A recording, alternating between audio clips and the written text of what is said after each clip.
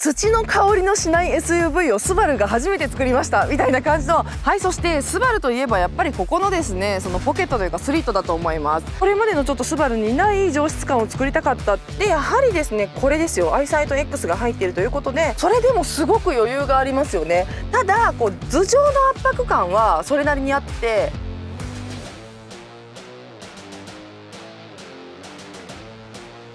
はい皆さんこんにちは。自動車ジャーナリストの今井ゆきです。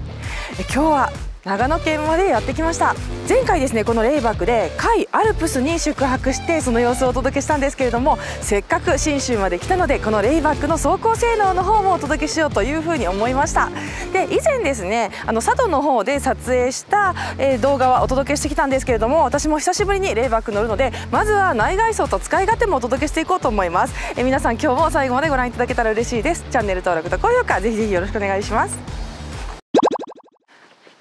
さあそれではフロントフェイスからいきたいと思います。やはりですねレボーグベースということでですねあのレボーグをこうイメージしているとレボーグよりもさらに上質な感じになっているっていうのがですね気づいていただけるかなというふうに思います。まあ、というのもやっぱりレボーグはステーションワゴンタイプなんですけれどもこのレイバックはそれをですね SUV スタイルにしたっていうこうボディタイプの違いがあってさらにですねレイバックは土の香りのしない SUV をスバルが初めて作りましたみたいな感じのテーマがあってなのですごく上質なんですよね。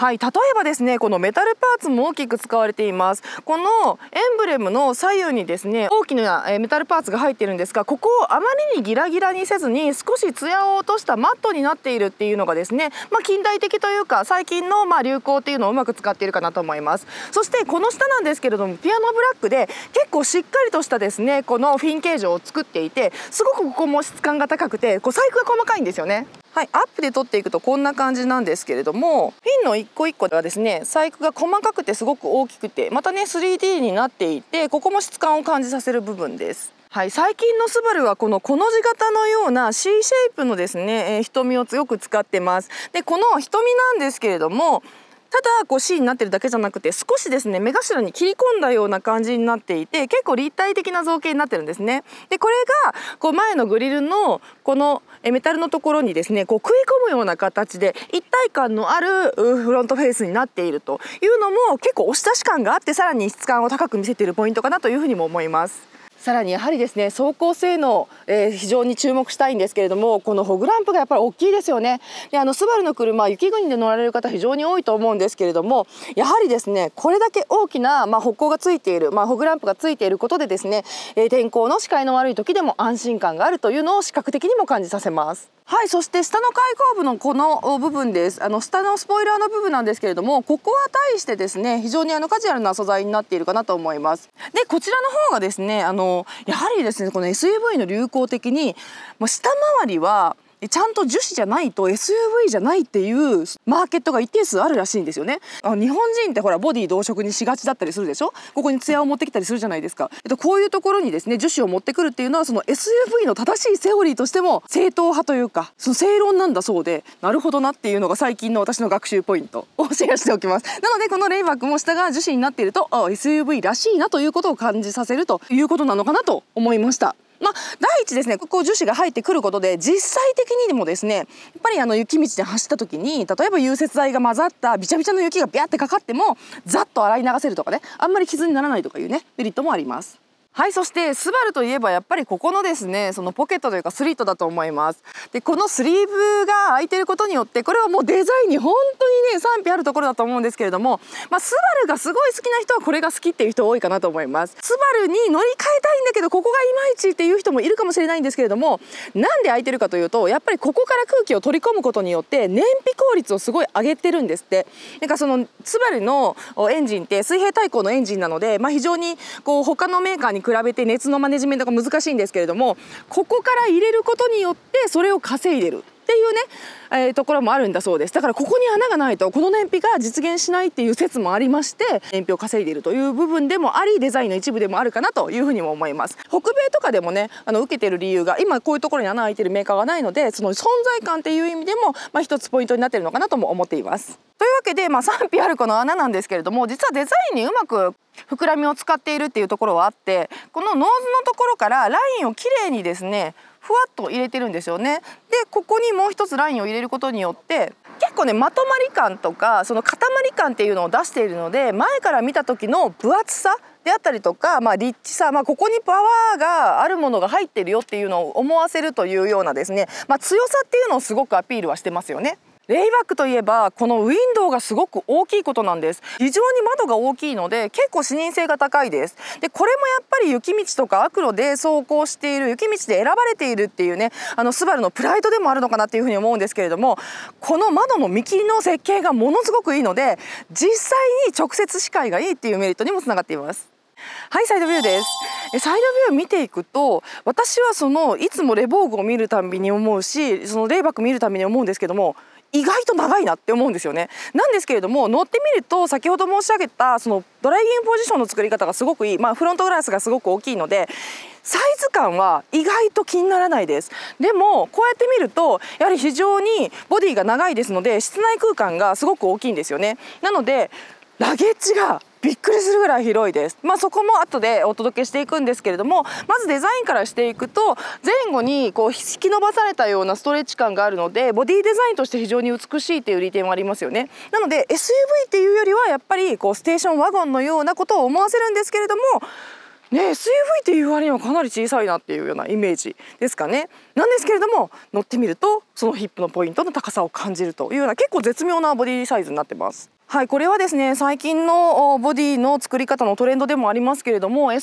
タイプとはいえですねこうリアに向かって、えー、ルーフが傾斜していくようなクーペラインを作るっていうのがですねやはり疾走感であるとかそういうスタイリッシュさを出してるのかなと思いました。ちょっと今気づいたんですけどこれ前回言ってないと思うんですけど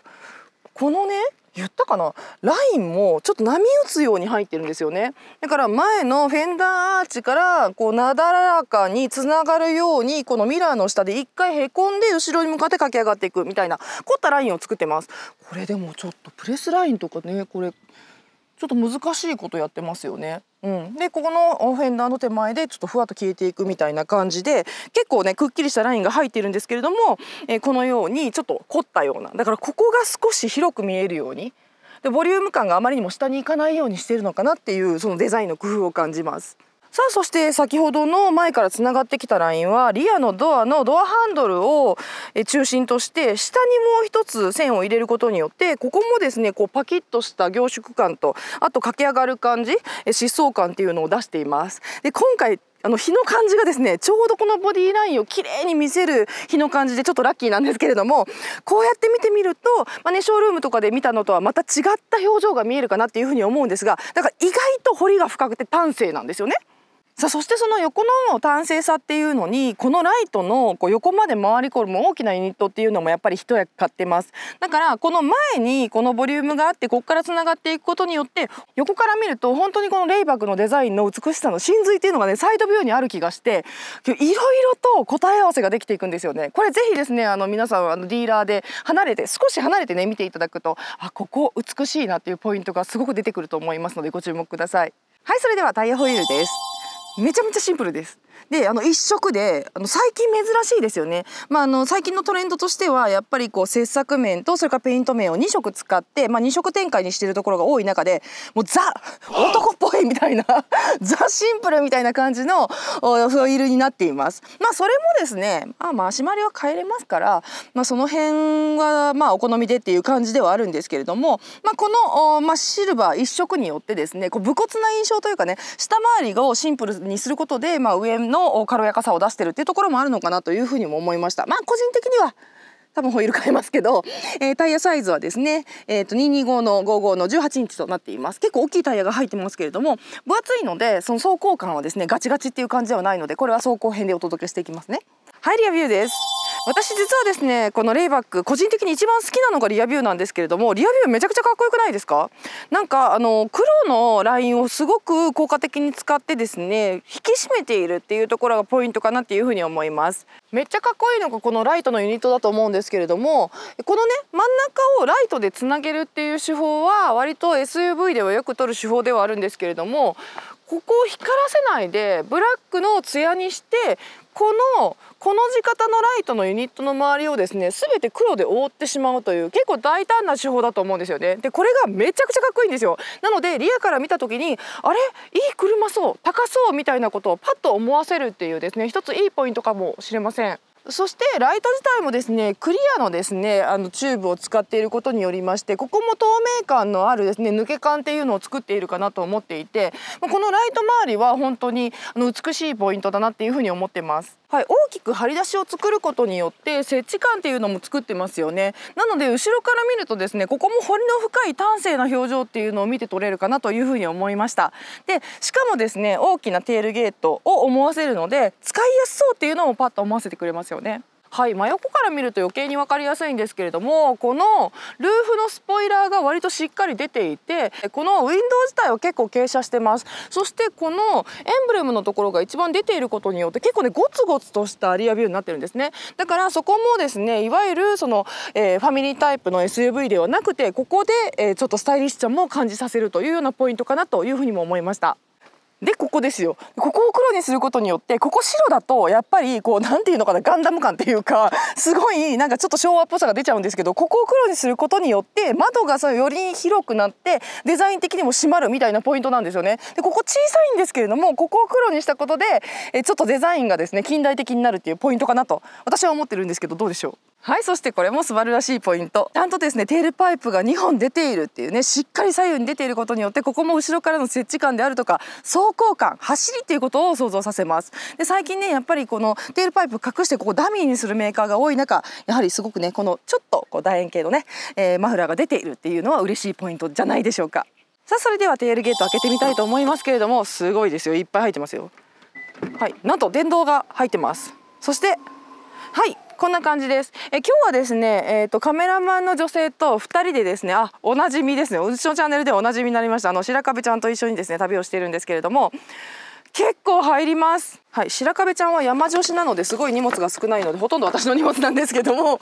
これが、えーと、いわゆるリモアのスモールサイズのケースが入ってこれはいろいろとですね洗車道具が入っている紙袋そして傘が縦に2本入ってさらにエコバッグみたいなねこんな状況ですっかすかですよ。すっかすか。私本当にびっくりしたんですけどこのボディサイズでこんなにラゲジ広いんだっていうのが結構びっくりポイントです。なんて言ったって奥行きが結構あるんですよね。さらにですね私大好きな機能としてあれがついてます。いきますよ。パタン。はいという感じでここにレバーがあってはいパタンという感じで結構ですねあの安易にリアシートをアレンジできるというのがやっぱりポイントでなんでかというと空力の話なんですけれどもハッチバック形状の車ってここにやっぱり汚れがすごい溜まるんですよね。雪道であるとか道の悪いところ走ると跳ね上げとかもすごいじゃないですか。そういう時にこういう色のパンツ履いてるとここか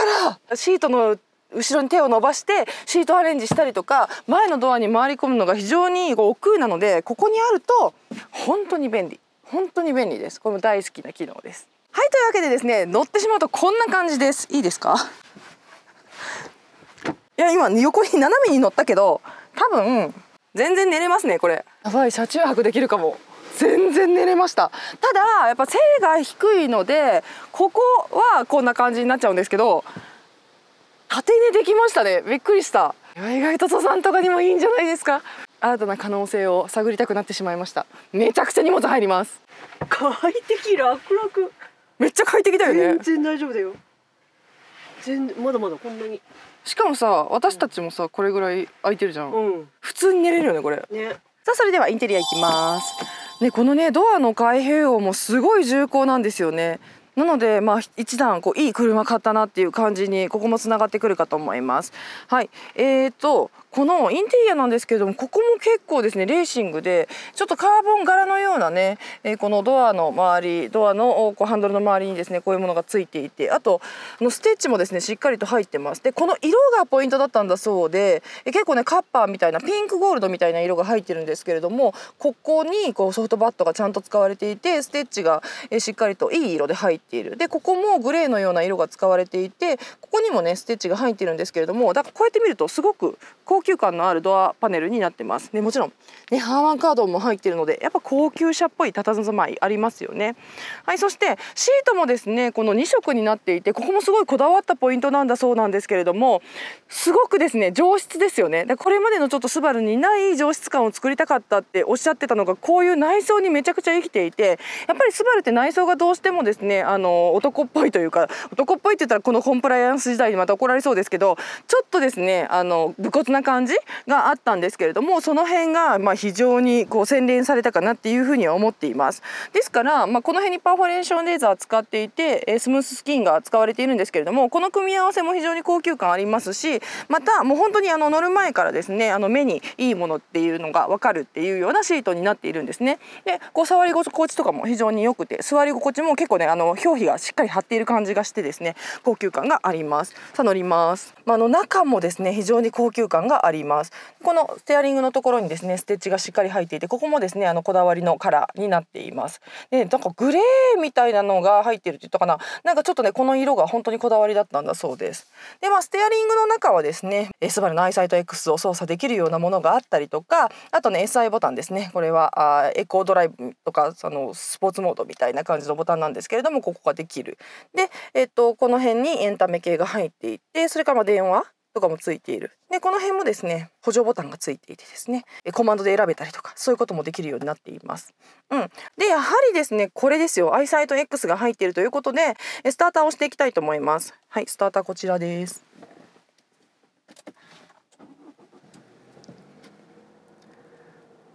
はいもうね大きいんですよこのメインディスプレイが、まあ、これねあの最近のスバル車乗ってる方はですね、まあ、おなじみになってきたかなと思いますけれどもスバルはこういう縦型のインフォメーションディスプレイを使ってます。でこれがまああの真ん中にこのコンソールの真ん中にドドンとあることで、まあ、非常に視認性も高いですし見やすいよというのがポイントかなと思います。はい。でメニューとかも選んでいくとはいこんな感じで縦型なので、まあ、独自性もあるしすごく分かりやすいっていうのとあと画面分割とかも選べますのでこの辺もこうインフォメーションをですねあの全画面でナビを見せるのかそれともちょっと上にはですね違うインフォメーションを出すのかとかいうのもできますしあとショートカットがこの辺にねありますのでこれはプロフィールを自分のプロフィールをメモリしといて、まあ、例えばお好みのシートポジションに合わせたりとかいうことも可能になってます。でこれねナビですねであとはこれが携帯系の、えーと、デバイスのコネクトであったりとかあとこの辺はアイドリングのストップだったりとか AVH とかこういうのがついている。あと車両設定がこうなっていてこの車両設定のところがいろいろと細かいんですけれどもまあ走行の支援系ですねここで全部オンオフができるようになっています。走行アシストとかもですねかなりあるので、えー、例えばあこの辺は、まあ、デフォルトで入っている車線逸脱のオンであったりとかそういうのもできます。この上のところにはですね常にアクセル回路とか水温とか油温とかこういうのが並んでいてこの見せ方がやっぱりスバルっぽいなと思うんですけれどもこんな感じで、えーと、上に、まあ、iPhone とかのその音楽のねあのソースをこう表示したりさせたりとかもできるしこうスバルっぽいこういうのをね、えー、アクセル回路とかをね表示させることもできるというような面白さもあるかなと思います。でまあここの、まあ、一つ大きなメリットとしてはここにですねドライバーモニタリングカメラが入ってますのでここでですねそのドライバーの疲れとかそれからあの半目とかそういうのを検知してあと前向いてませんよとかいうのも検知してですねドライバーに警告を出してくれるっていうのもあるんですよね。安全を、まあ、開発のテーマにしている素晴らしい部分でもあります。はい、でその画面がこんな風に綺麗に入っているのでまあ、あの座った感じもですね高級感があるとこの辺も効いてますよねやっぱりね。このソフトパッドが前にも使われていてステッチも綺麗に入っている、まあ、この辺がレイバックが土の香りがしないように作ったというようなところにつがっているかなと思います。でこのミラーもすごい綺麗なんですよね。なのでこのミラー自体も非常にですねスタイリッシュに映ります。それからこれですよ。ね。わあ綺麗。ね、スバルってちょっとお出かけする時に乗る人も多いと思うんですけれどもこういうところでですねあもちろん開きますよ開くんですけれどもはいもうね外気を感じられる車って今コロナを経てねすごいいいんじゃないかなって思うんですよね。でこれあのチルトしたりとかもできます。ちょっとチルトしたりとかね。ちょっとだけ開けたりとかいうこともできますのでここもまあ新しい価値観の提供っていう意味では素晴らしいなっていうふうに思いました。はい。でその下です。えシフトノブはですね結構大きいやつです。もうおなじみのやつね。操作のミスがあんまりないこうでっかいやつがついてます。ここはまあうん。時代に逆行してるかなっていう感じはしますけれども、まあ、これが好きっていう人もいるのかなとも思います。まあでもちょっと大きすぎるので、まあ、最近は、えちょっとこういまいちあれかもしれないですよね。はい、そしてその奥にデバイスがありますけれども、えー、ここにですね、えっ、ー、と、シート、タイプ C と、タイプ A がついてて、でここにシガーソケットもあります。で、このビューを押すと、こんな感じで360度周りに何かあるのかなっていうのを見せてくれるのでここも非常にね安心なポイントかなっていうふうにも思います。はいそしてドライニングホルダーなんですけれども横に2つあります。えここもそんなに大きな車じゃないんですけれどもしっかりとこう居住性が高いというかねスバルってこのドリンクホルダーを必ず横に並べるっていうことを結構ね開発の最中によく言うんですけれどもこの2個あることによって、まあ、助手席と運転席の人のですねこのドリンクが間違いにくいっていうところもあると思います。そしてこの下にですねこのようにグローブボックスがあってでちょっとした物入れも実はこの下に隠れているっていうような感じなんですね。はい、えっと、ペダルもちょっとメタルになっててすごくかっこいいです。まあ、ここは、あまあ、土の匂いがしないとはいえ、まあ、スバルがこだわっているところなのかなと、品質という意味でこだわっているところなのかなと思います。はい、それでは、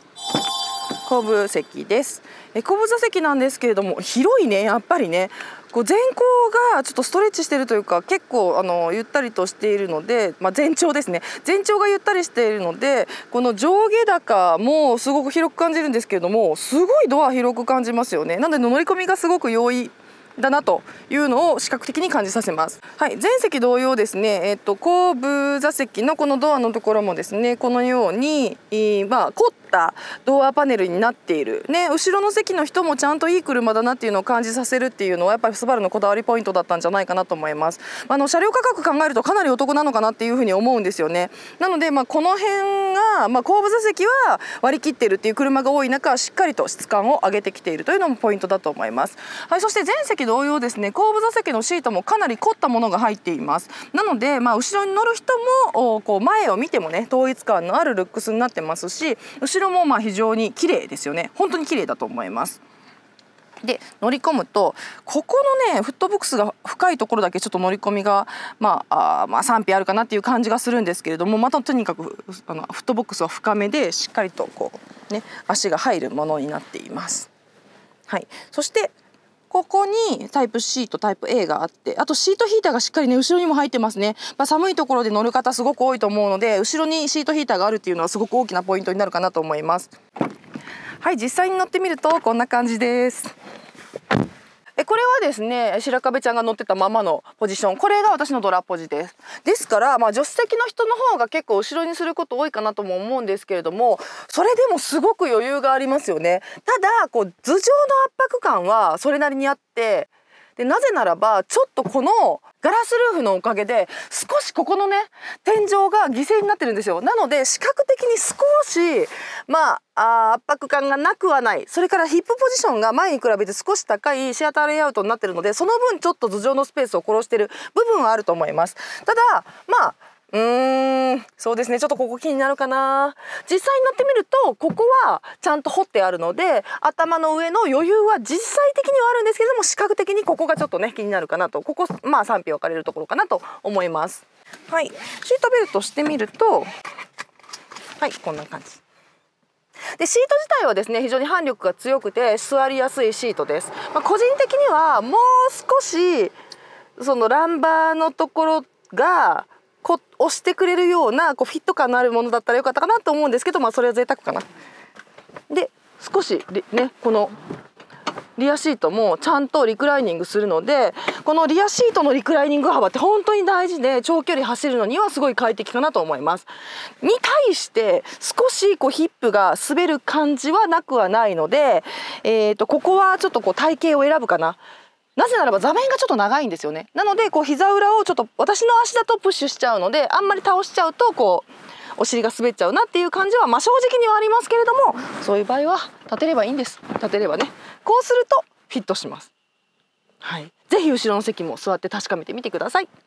はいというわけで今日はこちらレボーグレイバックの内外装と使い勝手編をお届けしてまいりました。いかがだったでしょうか？改めてやっぱりこうやってですねちょっとプライベートに近いところで乗ると快適性の高さというのをすごく感じました。やっぱりね視界も高いですしこれは道が悪くなって例えばね雪とか降ってもすごいいい相棒になるんじゃないかなというふうにも思いました。えそれではですねこの次は走行編をお届けしていきたいと思います。え今日は信州ですので信州から都内に帰るまでのドライブでアイサイト X を試していきたいと思います。え皆さんぜひ試乗編もご期待ください。それでは今日も最後までご覧いただきましてありがとうございました。チャンネル登録と高評価ぜひぜひよろしくお願いします。自動車ジャーナリストの今井ゆうきでした。バイバイ。